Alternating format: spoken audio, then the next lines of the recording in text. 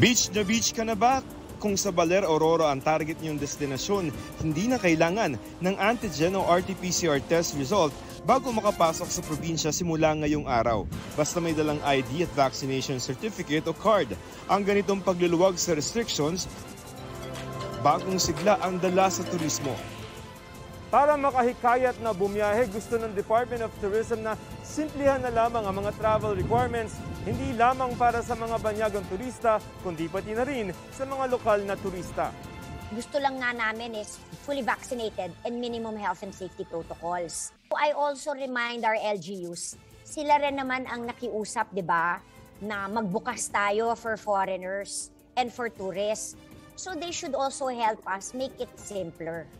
Malaking dagok sa turismo ng bansa ang mga naging paghihigpit dahil sa COVID-19. Mula sa isa hanggang dalawang trilyong pisong kontribusyon nito sa ekonomiya mula 2016 hanggang 2019, bumulusok ito sa mahigit 970 billion pesos noong 2020 na magkapandemya.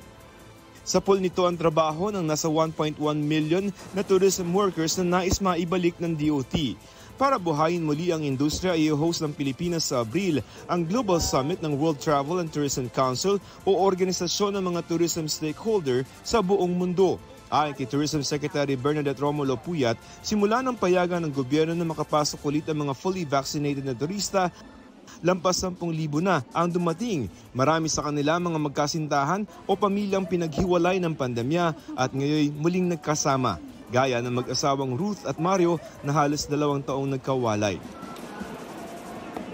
How do you feel? The long trip for me. Happy, happy. By opening ourselves to foreigners from visa-free countries, we're slowly going back to normal na. 'Di ba? Um, Joseph, when you started seeing foreigners after close to two years, yun lang yung senyales na malapit na um, na bumalik ang buhay natin sa normal. Ako si Joseph Morong, ang inyong saksi. Makaigang saksiyan ng unang pasok ng mga balita. Maaring mapanood ang saksi at ang iba pang GMA Newscast sa youtube.com slash GMA News. I-click lang ang subscribe button sa mga kapuso abroad naman. Maaari po kaming masubaybayan sa GMA Pinoy TV at www.gmanews.tv.